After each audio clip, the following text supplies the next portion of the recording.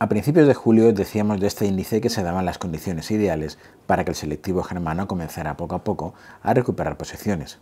Y lo decíamos en base a que a los mínimos de finales de junio, tras la sesión del tsunami de ventas por el efecto Brexit, le llevaba a poner a prueba la zona de soporte que presentaba en aquel momento en la base del canal alcista de los últimos siete años.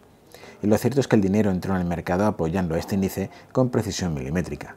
Desde entonces, y con sus lógicas correcciones contra tendencia o fases de reacción, el índice se está reestructurando al alza en términos de medio y largo plazo.